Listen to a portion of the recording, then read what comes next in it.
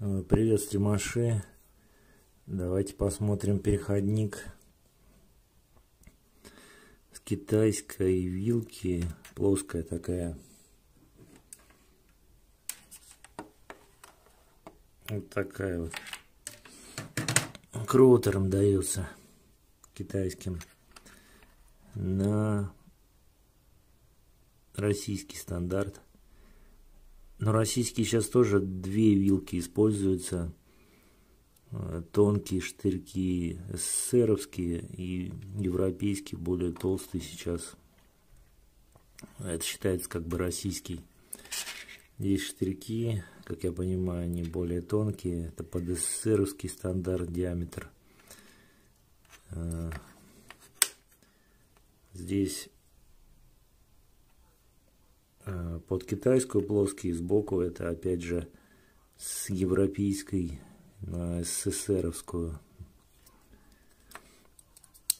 Разъем дурацкий, некачественный, стоит от 50 до 100 даже рублей иногда. Может быть э, и дороже. Один раз я видел чуть ли там не 150 рублей, но сделан некачественно. Магнититься не должны контакты, они должны из латуни быть сделаны. Но видите, это сталь. И еще сами, оказывается, контакты, которые вилка вставляется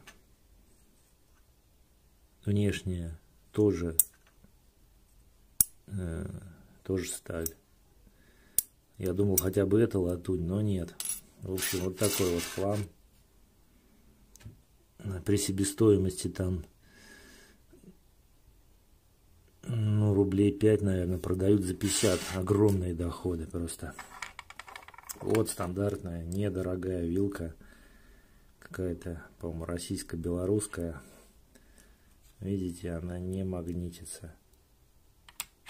Это винты вот эти вот винты, на котором провод крепится, сам, сам не магнитится. Даже в дешевых, даже в дешевых отечественных нормальные детали, а это э, говнище китайское. Еще один попал мне переходничок. Этот дали, а этот я купил. Думал получше но ничего подобного. Вот так он выглядит.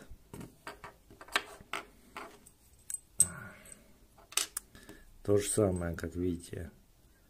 Сталь, штырек.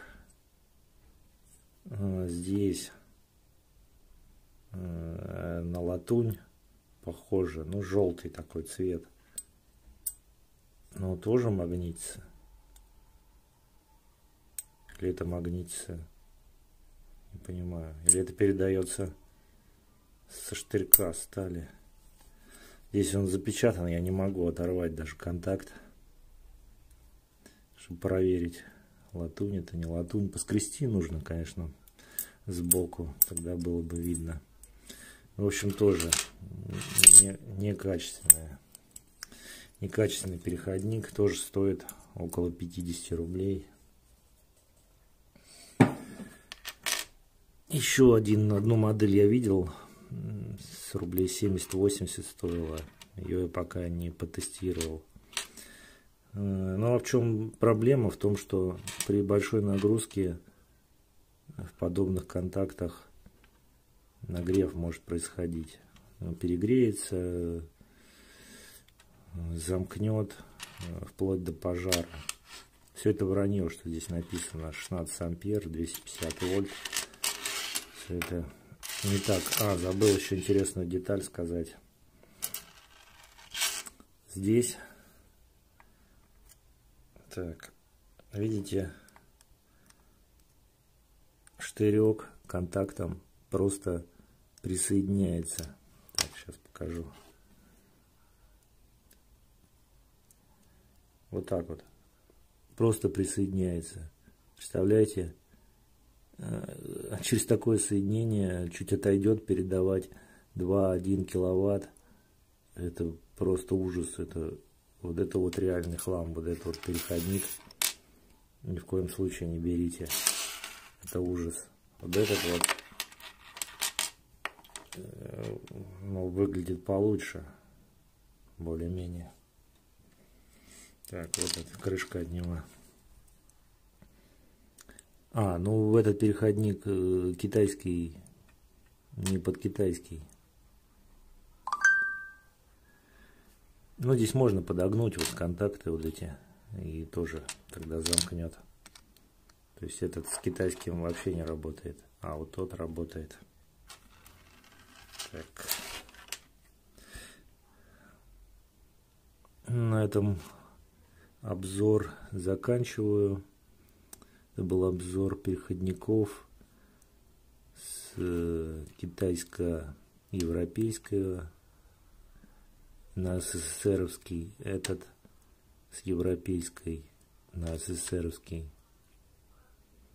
Этот очень плохой, этот просто плохой.